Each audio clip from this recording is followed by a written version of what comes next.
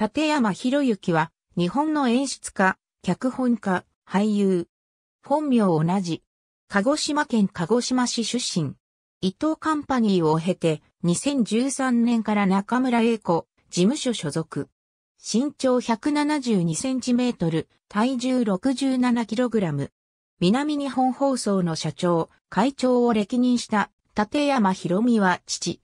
鹿児島県立鶴丸高等学校2年の時に母親を亡くしたことが動機で俳優を目指す。高校卒業後、大学進学のために上京。一浪するも俳優養成所へ入所。1984年に日生劇場で上演の蜷川幸雄演出、濁り校で初舞台。同年は同じく蜷川幸雄演出の原力効果に出演する。その後、音楽制作会社のサラリーマンを経て俳優に復帰。1988年、鶴丸高校の先輩で TBS の大山克美演出、東芝日曜劇場、南の家族に出演。東南アジアの若者のために農業研修制度を設立する佐藤真二を演じる。以降、テレビドラマに活動の場を移す。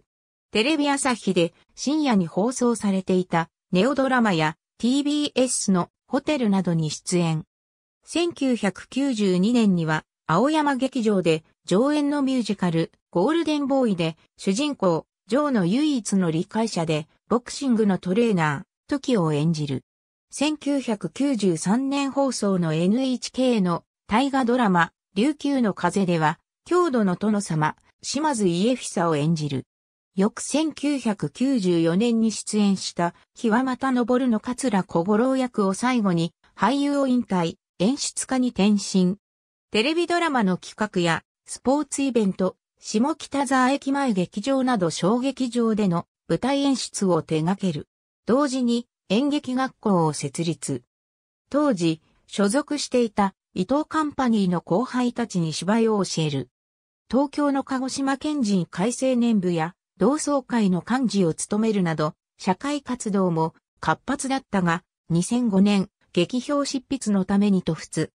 パリオペラ座のバレエや、アビニョン演劇祭、パリコレや、シャンパーニュに至るまで、フランスの芸術や文化について、日本の新聞やインターネットサイトに執筆。2006年の帰国後は、鹿児島市在住。鹿児島では、鹿児島県文化振興財団主催の演劇ワークショップの講師、ラジオ朗読劇、ムクハトジュの世界の脚本、演出、中村英子事務所や、サンミュージックアカデミー鹿児島校での演技指導、映画や、テレビドラマのキャスティング、イタリアの音楽家、ジョバンニ・アレビの鹿児島公演プロデュース、トークショーや、ファッションショーの企画、鹿児島女子短期大学や、志学館大学での講義等、鹿児島の文化、芸術に貢献。2019年1月には、鹿児島県文化振興財団主催の、鹿児島明治維新博県民による創作演劇、西郷どんがやってきた、後を継ぐ者の、脚本、演出を担当。好評を博した。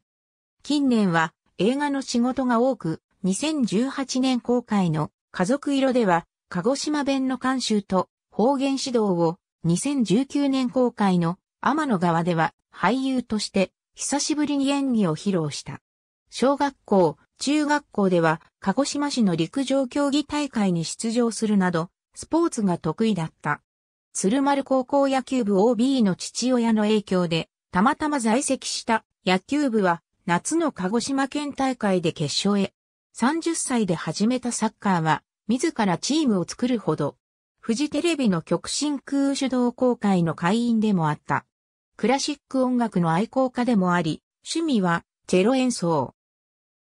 ロックも好きで、デビッド・ボーイのファン。